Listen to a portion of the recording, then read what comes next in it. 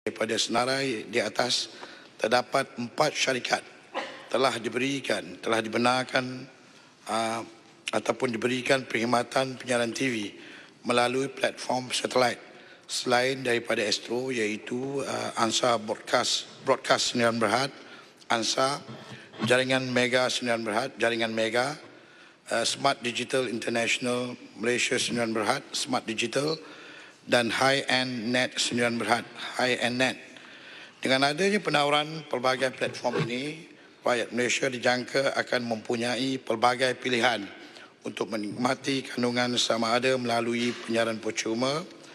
uh, tanpa langganan dengan izin non-subscription broadcasting ataupun melalui penyiaran berbayar.